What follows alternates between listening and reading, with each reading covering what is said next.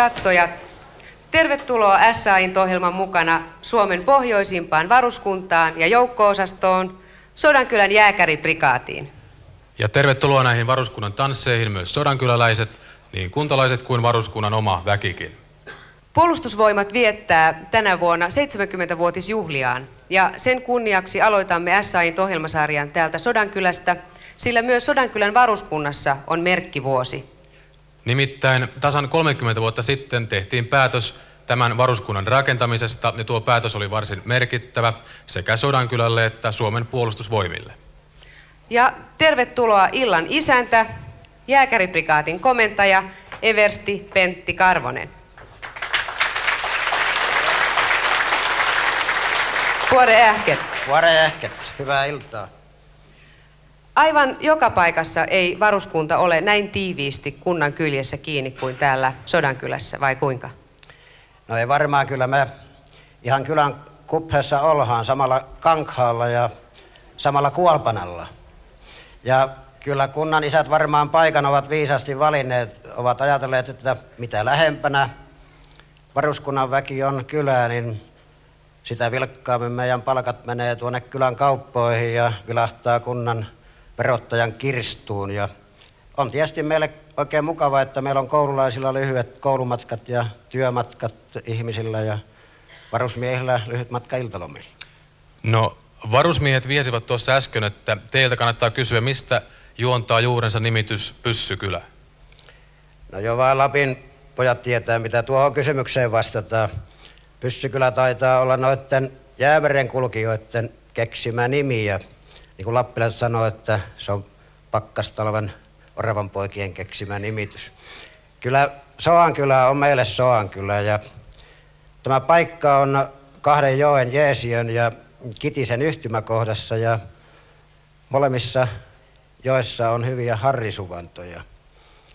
Ja aikaisemmin tässä on ollut vanha saamelaiskylä, jonka nimi on ollut Soavilkille, Harjuskylä. Ja eikö se ole kaunis nimi?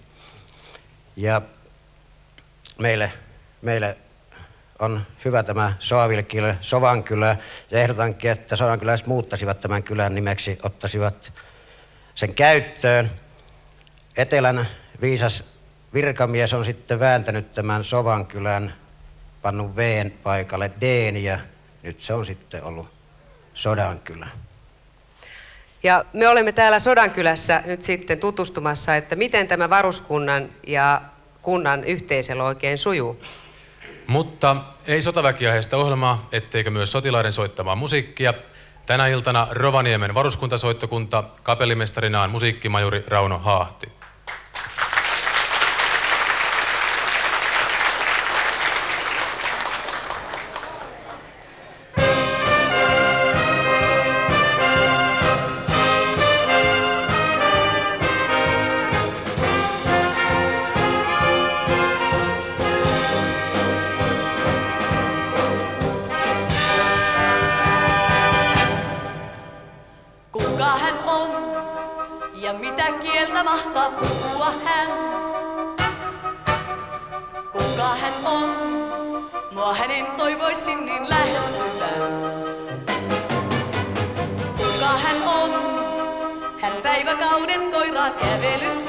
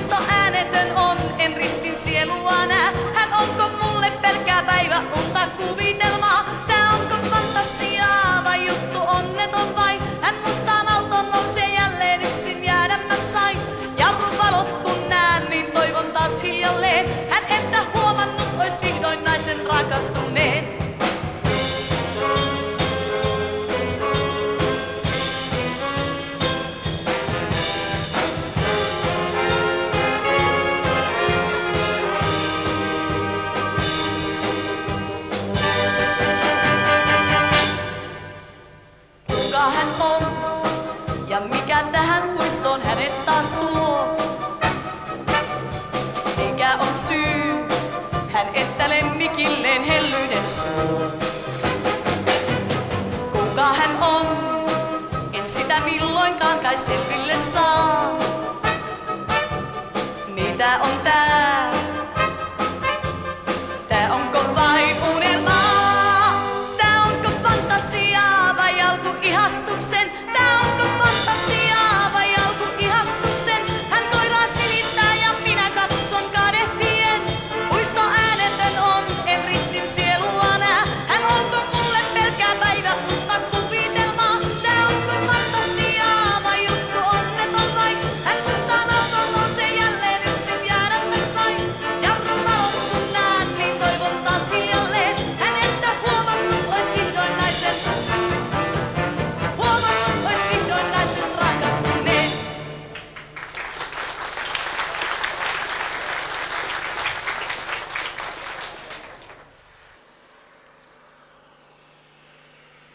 Näiden Lapin laajojen selkosten sotilaallinen tyhjiö huolestutti puolustusvoimiemme johtoa ankarasti 50-luvulla. Rauhanajan joukkojen pääpaino oli etelässä ja Lappi oli lähes kokonaan vailla sinne pysyvästi sijoitettua jalkaväkeä. Sopivaa paikkakuntaa varuskunnalle haravoitiin kaikkialta. Aluksi esillä oli Kittilä, mutta sodankyläläisten aloitteellisuus ja halukkuus Vaasasta siirrettävän pataljoonan sijoittamiseen kallisti vaan nopeasti kunnan puoleen. Varuskunnan rakentaminen alkoi heti ja Lapin jääkäripataljoona pyöräili Sodankylään vuonna 1964. Keskeinen sijainti Lapissa oli merkittävä puolustusvoimille, mutta sitäkin tärkeämpi oma varuskunta oli Sodankylällä. Kunnallisneuvos Akseli Parman, miksi te sodankyläläiset tämän varuskunnan tänne halusitte? No siinä on kyllä tekijänä se, että aikoinaan oli kirkkoherra Järventaus täällä pappina. Ja sen poika, tämä kenraali Järventaus, niin oli tämän paikan kasvatti. Ja hänellä oli ollut koko elämän ajan ajatuksena, että Lappi ei saisi pitää jatkuvasti tyhjiönä. Tänne olisi saatava sotaväki. Ja kun minä kuulin tämän, että Sodankyläkin on siinä pikkusen noin niin kuin vaalitilalla, niin minä iltakoneeseen pyysin paikan ja tulin tänne Sodankylään ja meillä oli, minä olin valtuuston puheenjohtaja, hän oli kunnall- kunnallislautakunnan esimiehenä oli Nivanto, entinen Forström. Ja hän oli keisarivallan aikuinen upseeri. Hän tiesi, mikä vahvuus on pataljonalla ja, ja mitä se aiheuttaa paikkakunnalle. Hän tilasi, kun kuuli tämän asian, hän tilasi aamukoneeseen paikan Helsinkiin ja sanoi, että me lä- sinä vallaat takaisin ja lähdetään pääesikuntaan. Ja mentiin sinne sitten ja keskusteltiin siinä sitten. Ja siellä oltiin myötämielisiä Sodankylälle puolustusministeriä ja pääsikunnan miehet, niin ne oli nähneet, että täällä on erinomaiset maastot. Tänne kyllä voisi sijoittaa ja väestö tuntuu olevan myötämielinen, koska kaksi miestä on jo täällä tarjolla. Tulimme Sodankylään ja minä kuttun kiireellisesti valtuuston koolle. Se on seitsemän päivää kuin kiireellisessä asiassa. Ja siinä valtuusto teki päätöksen ja minä lähetimme nimismies, oli silloin julkinen notari paikkakunnalla. Nimismiehen kautta lähetimme sähkösanomalla valtuuston päätöksen Helsinkiin, että 20 miljoonaa markkaa on myönnetty noin niin kuin kynnysrahaa ja, ja tuota, me olemme valmiit vastaanottamaan. Te olitte valtuustossa varsin yksimielisiä halukkuudesta ottaa tämä varuskunta tänne Sodankylään, mutta olivatko kaikki sodankyläläiset yhtä varauksettomia varuskunnan tänne hankkimisesta? kiistaa tuli vähän sitä nuorisosta, mutta ei pahempaa. Pikkusen moksivat piipulla toisiaan, mutta ei, ei sen pahempaa tullut. Mutta paikkakuntalaiset käsittivät tämän, ja varsinkin sellaiset, jotka olivat enemmän olleet tekemisissä, niin ne heti huomas. Ei se raha, eikä se, mikä niiltä saatiin rahana, niin ei se vaikuttanut niin paljon. Kuinka paljon se vaikutti se, että me saimme sitä henkistä koulutettua pääomaa tänne. Ja nämä asettuvat hiljokselle sitä mukaan, kun paikkoja aukesi kunnan eri virastoihin ja paikkakunnan eri virastoihin. Näissä oli hyvää käyttövoimaa näissä rouvissa ja, ja miehet taas, niin heillä oli taas omat Ja kun ne myötämielisesti suhtautuvat meille, ne toi paljon sellaisia niksiä, joita me ei älyttykään. Sodankylän jääkäriprikaati sai siis tukikohtansa keskeltä Lappia. Maanteitse on matkaa Rovaniemelle 130 kilometriä, Kemijärvelle 110, Ivaloon 160 ja Kittiläänkin runsas 80 kilometriä. Sotilaallisen tasapainon kannalta Lappi on jatkuvan mielenkiinnon kohteena, sekä kansallisesti että yhä enemmän myös kansainvälisesti. Kansainvälisesti siksi, että Lapin sijainti puskurina Naton ja Varsovan välissä on tärkeää myös suurvalloille. Oman alueemme puolustaminen, kansainväliset kiistakysymykset sekä sotilasliittoutumien tukikohtajärjestelyt olivat ratkaisevimmat syyt siihen, miksi Suomen oli 60-luvulla täytettävä Lapin tyhjiö, asetettava Lappiin luottamuksen täyttävät pysyvät joukot. Ulkomaalaiset eivät luottaneet meidän puolustukseen. Kun vuonna 1964 tuli Lapin jääkäripataljona Lappiin, niin luottamus parani. Mutta silloinkin vielä Lapin jääkäripataljoona oli varustettu polkupyörillä ja se oli traktorivetoinen. Se liikkuvuus oli huono. Mutta kun 80-luvulla tänne siirtyi jääkäriprikaati, siinä oli moderni kenttätykistö. Sillä on panssarintorjuntaohjukset. Sillä on apilaskertasingot, panssarivaunuja, nykyaikainen pioneeri- ja viestitekniikka. Niin naapurit ovat nykyisin luottaneet.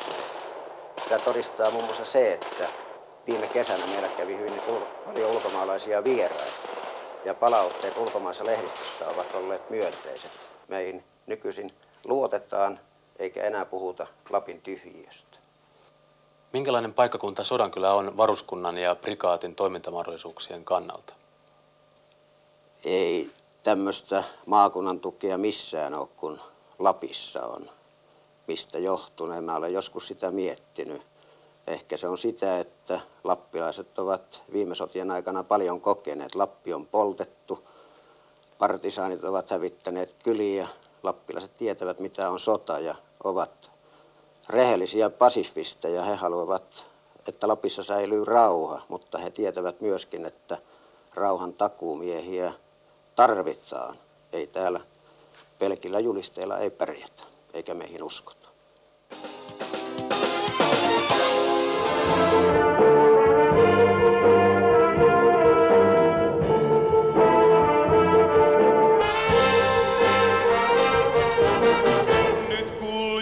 Katuani pitkin, on katu toiveen särkyneen.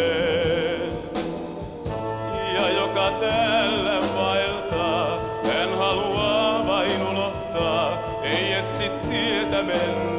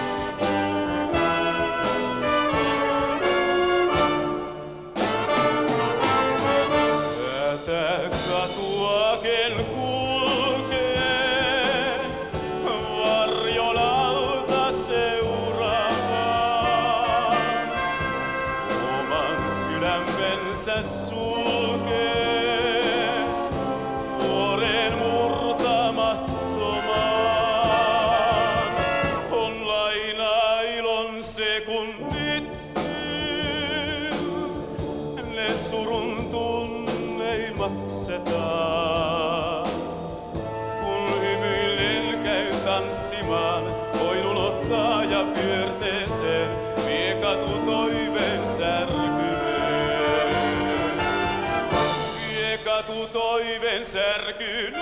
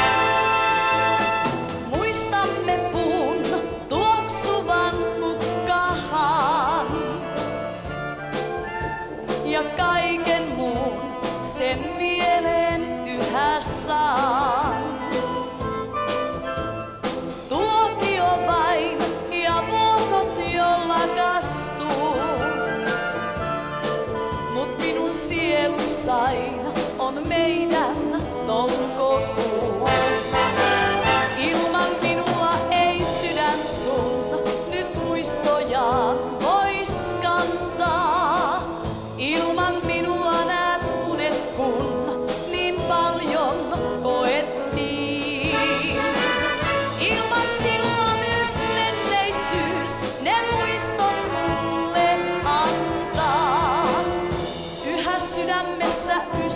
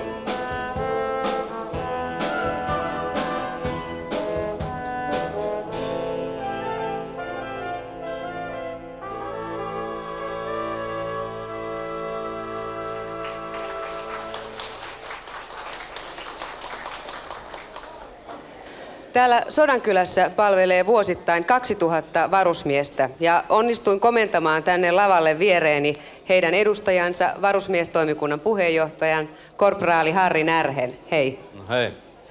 Millainen paikka tämä Sodankylä oikein on varusmiehen näkökulmasta?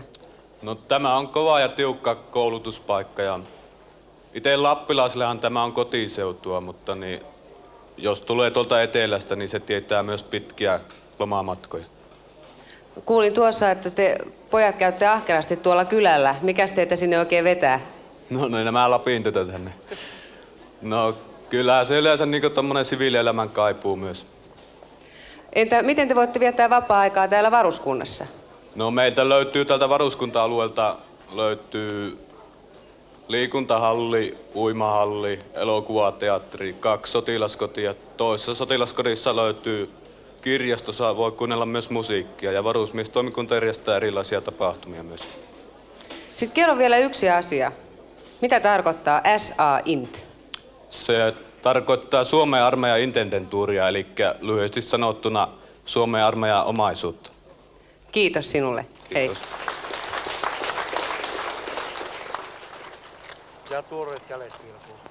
Tuota Essa Intleimalla varustettua Suomen armeijan omaisuutta annetaankin Sodankylässä varusmiesten käyttöön paljon enemmän kuin muissa varuskunnissa. Erikoisolot vaativat erikoisvarusteet, lämpimät makuupussit, jalkineet, käsineet ja paljon muuta. Huoltopuolella varustepaljaus näkyy kymmeninä pyykkisäkkeinä, jotka päivittäin vyöryvät pesulaan.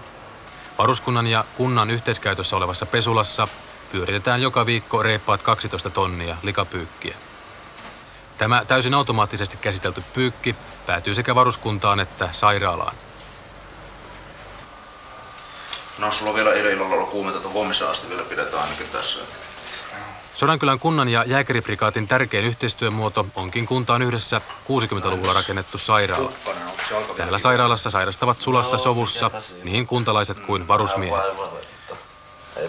Ja, no, tämä viikko levätään tässä oman vuoteen omana ja viikonlopuksi vesit pois. Aha, mukavaa. Johtava lääkäri Yrjö Näsi, mitä hyötyä on tästä tälle kunnan terveyskeskukselle ja sairaalalle, että toimitte samoissa tiloissa kuin tämä varuskunta ja varuskuntasairaala?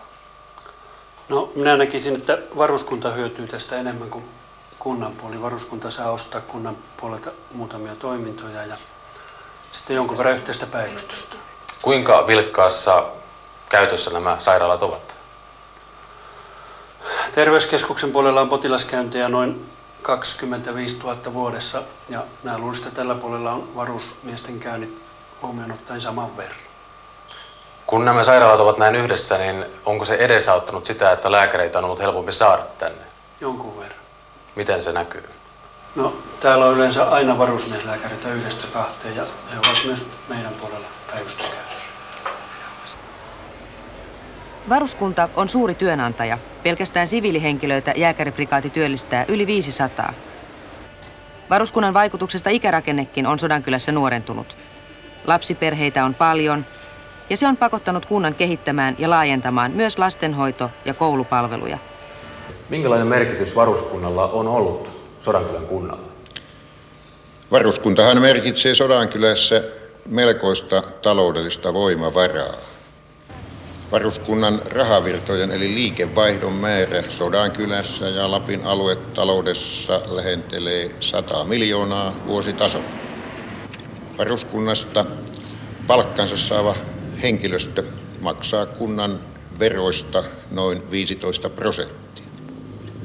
Ja sen ohella täytyy tietysti sanoa, että varuskunnan vaikutus on kohottanut Sodankylän kunnan profiilia, tehnyt Sodankylää ikään kuin tunnetummaksi siitä, mitä se on aikaisemmin ollut. Sanonta Pössykylä on hyvin kuvaava, sen täällä Intissä käyneet nuoret miehet hyvin mielellään mainitsee. Se tulkitsee sodankyläläistä nykyaikaa, dynaamisuutta ja kehityshakuisuutta. Mitkä ovat täällä kunnan ja varuskunnan suurimmat yhteiset hankkeet? Meillä on hyvinkin laaja yhteistoiminta. Luettelematta asioita nyt tarkemmin totean, että terveydenhuollon, vapaa-aikatoimen ja varsin laajasti kunnallistekniikan alueella meillä on peräti kymmenkunta erilaista yhteistoimintasopimusta, jolla me olemme yhteisin keinoin ja voimin toteuttaneet investointeja ja palveluhankkeita ja saavuttaneet sillä erinomaisen merkittäviä taloudellisten voimavarojen säästöjä aikaan. Suuri varuskunta on melkoinen kuluttaja. Esimerkiksi ruokahankintoihin jääkäriprikaati käyttää vuodessa noin 8 miljoonaa markkaa, josta Lapin lääniin jää puolet. Parempien hintatarjousten takia loput hankinnoista tehdään muualta Suomesta. No niin, me olemme nyt täällä Orajärven kylässä Poroisen Taima Maijalan alueella ja tässä on huoltopäällikkö Matti Alajärvi. Käyttekö te usein tapaamassa näitä Sodankylän alueen tuottajia? En kovin usein, mutta aina silloin kun on aihetta ja aina on miellyttävä käydä tapaamassa sodankyläläisiä tuottajia. Kuinka paljon Sodankylän varuskunta tekee hankintoja täältä Sodankylästä ja kuinka paljon taas Lapin läänistä? No varsinaisesti elintarvikkeista Sodankylästä hankitaan noin 550 000 markan arvosta. Pääasiassa poronlihaa, porotuotteita, tuoretta leipää, kalaa ja muita juhlapäivien erikoisherkkuja. Lapin läänistä hankitaan noin 4 miljoonaa arvosta. Mitäs nuo juhlapäivän herkut sitten on? Ne ovat tenon lohta ja ynnä muuta semmoista, jota tulee juhlapäivänä pöytään varuskunnassa. Aimo Maijala, onko nuo teidän porot käyneet kaupaksi tuonne varuskuntaan? Tuolla tuoteelostessa käydessä olen huomannut, että siellä kauppaneuvotteluja tämä Matti on tehnyt johtajan kanssa siellä, niin ilmeisesti niitä on mennyt sinne. Mehän myymme tämän liikkeelle suoraan ja sieltä sitten tämä jälleenmyynti tapahtuu.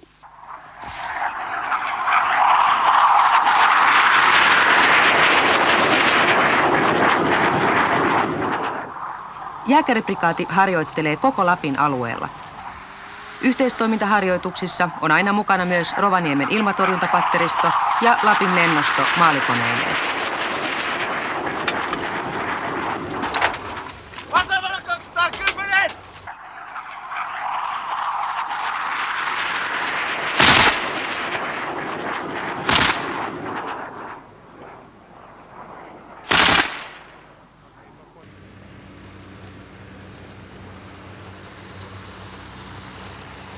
Sodankylän tienhoitopiirille ja poliiseille Lapin lennoston harjoitukset Vuojärven maantietukikohdassa tietävät vilkasta ja kiireistä päivää hävittäjien syöksyessä taivaalta tilapäiselle kentälleen.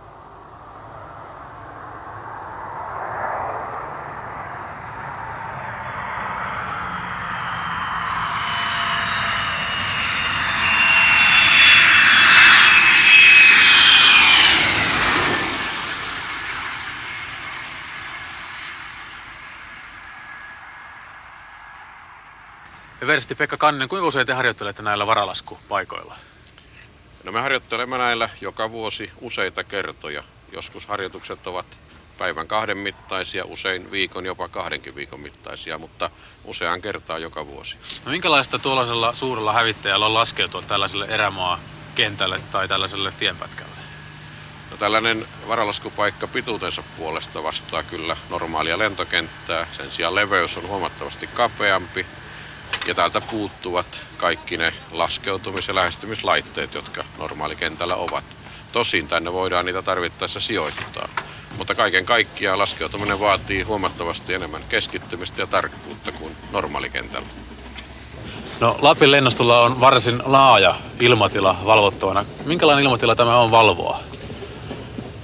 Ilmatila on todella laaja, lähes puolet Suomen ilmatilasta Alue on mielenkiintoinen lähinnä sen takia, että ympäristössä molemmat suurvaltaliittoutumat harjoittavat ajoittain vilkastakin lentotoimintaa, joten oman ilmatilan valvominen ja sen käytön ehkäiseminen on tietysti meille tärkeä tehtävä.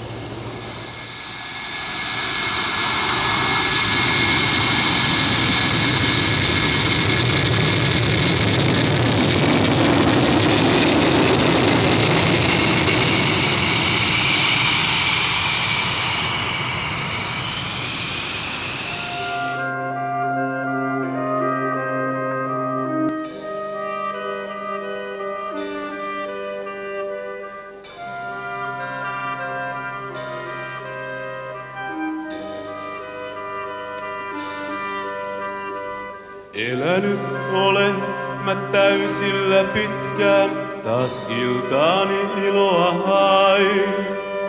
Sinut kun näin, mua kahleet ei mitkään, pitäneet oissaloillain. Katsees mut lävisti, tahdoit kai tanssin, sanoitta kerroit sä sen. Vaik ilta jo päättyikin viimeisen vanssin, viereltäs poistunut. On valssi tää kahden ihmisen ottava kaipuu, vain valssi tää ja mun maailma sylis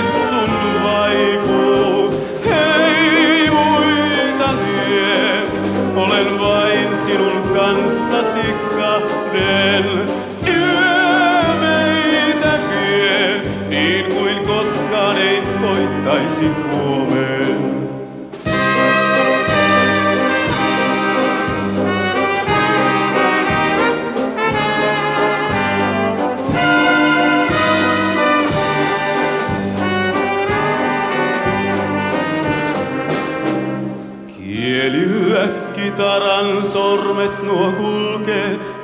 Rytmin vain sydämet lyö.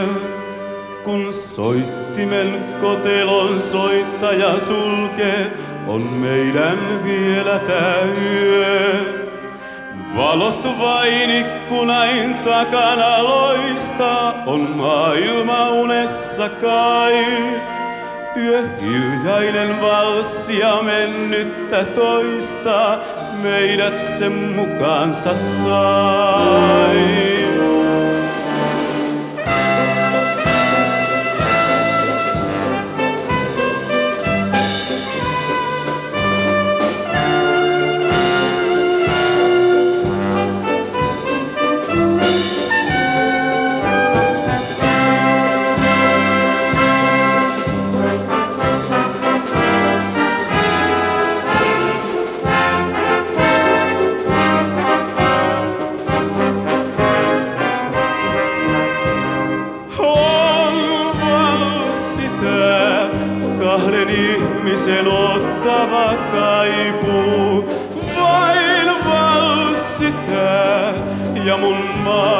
Sylis sun vaipuu. Hei muita lie, olen vain sinun kanssasi kahden.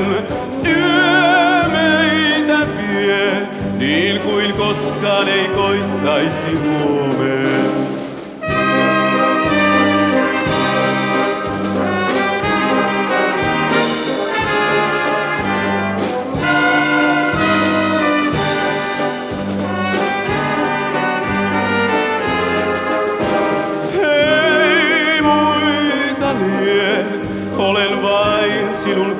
Kanssasi kahden.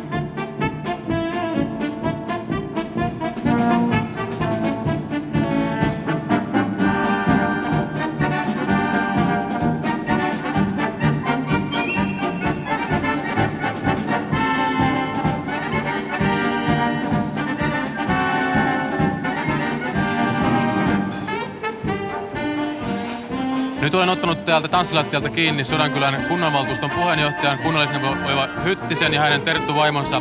Miten teidän iltanne on lähtenyt käyntiin? Hienosti. Oikein mukavasti, kun on vielä mielisolistit.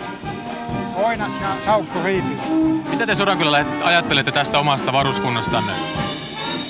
Kunnan ja varuskunnan osa-aika värvättynä voi vastata, että me sodankyläläiset tykkäämme oikein kovasti tästä varuskunnasta.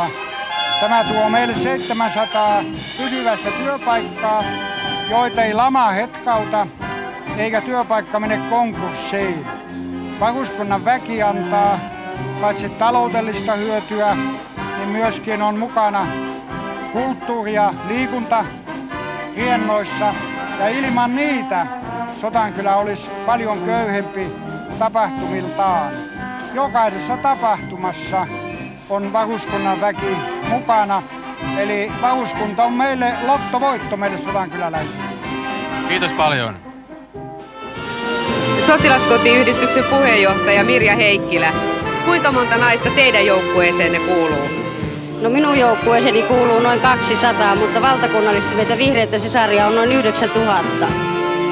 Täällä varuskunnassa sotilaskodissa tämä paikka on varusmiehille oman punkan jälkeen varmasti se kaikkein mieluisin. Miten te sisaret täällä näistä poista oikein huolehditte? No, sotilaskotiyhdistyksen meidän periaatteemmehan on, että kaikki ylimenevä vara annetaan varusmiehille muodossa tai toisessa takaisin. Pyrimme lisäämään sotilaskodin viihtyisyyttä ja poikien vapaa-ajan harrastusmahdollisuuksia. Viime jouluna esimerkiksi annoimme pojille kaksi kappaletta biljardipöytiä joululahjaksi. Tuota, pojat tuolla kertoivat, että kun he valmistautuvat metsäkeikalle, niin heillä on selässään 20 kilon täyspakkaus ja mukana 4 kilon rynnäkkökivääriä ja muuta taisteluvarustusta. Mitenkäs vihreät sisaret varustautuvat sotaharjoituksiin? No, meillähän on juuri alkamassa täällä Pohjois-Suomessa puolustusvoimien pääsotaharjoitus Tuisku 88. Ja sen miesvahvuus on noin 11, anteeksi 13 000 miestä. Sotilaskotitoiminnan hoidamme yhdessä läänimme muiden yhdistysten kanssa. Joka päivä lähdemme 12 myymäläautolla maastoon viemään pojille kahvia, munkkia, virvokkeita ynnä muuta. Tähän harjoitukseen olemme myös painattaneet ihan oman postikortin. Ja useat sisaret ovat jättäneet osan kesälomastaan pitämättä, että pääsevät mukaan tähän harjoitukseen. Toivotan teille vihreille sisarille oikein hauskaa illan jatkoa ja kiitos.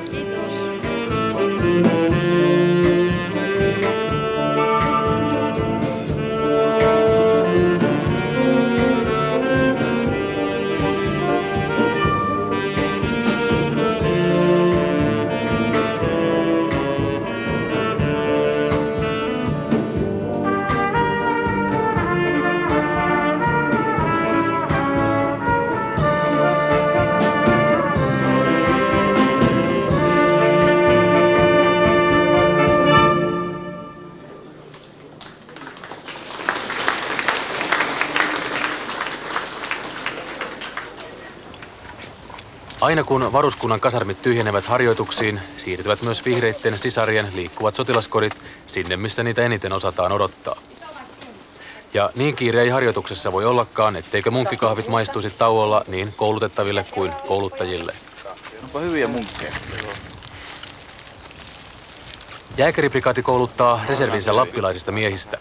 99 prosenttia jääkäriprikaatin varusmiehistä valitaan maamme viidestä pohjoisimmasta sotilaspiiristä. Se yksi prosentti kuulemma on sitten niitä etelän nuorukaisia, joita ei saa pysytettyä Lapista poissa muutoinkaan. Myös varusmiesten kouluttajista kantahenkilökunnasta suurin osa on lappilaisia. Osa jopa vanhempien jalanjäljillä toisen polven varuskuntalaisia. Minä kun olen varttunut täällä varuskunta-alueella, niin minusta oli selvää, että jatkan isäni ammattia. Ja varusmiespalveluksen jälkeen olin töissä tuolla autohallilla siviilityöntekijänä ja sen jälkeen halusin sitten katsoa, että minkälainen ammatti tämä on ja huomasin, että mielenkiintoinen ja haastava ammatti. No toista vaihtoehtoa oikeastaan käynyt mielessäkään siinä mielessä, että niin isä kun oli sotilasuralla ja oli pitkään päässyt seuraamaan sitä, niin tunsi suurta mielenkiintoa tähän uraan ja molemmat vanhemmat veljeni Jorma ja Markku lähtivät samalle uralle, niin päätin myös itse kokeilla tätä uraa. No, miksi juuri Sodankylä? Mikä tässä paikassa on parempaa kuin jossakin muualla? No Sodankylä oli siinä mielessä ainoalta oikealta vaihtoehdolta tuntuva paikka, koska olin itse kasvanut täällä 17 vuotta ja sitä ennen ja ympäristö ja asukkaat tuntuvat tutulta, niin tämä jäi ainoaksi oikeaksi vaihtoehdoksi. Onko tämä kouluttajalle mukava varuskunta? Tämä on minun mielestä erittäin hyvä varuskunta täällä, kun on asunut pitkään ja kasvanut ja ennen kuin tänne tuli töihin, niin oppi tuntemaan tämän henkilökunnan ja tuntee tämän alueen hyvin, niin tämä oli minun mielestä erittäin hyvä paikka.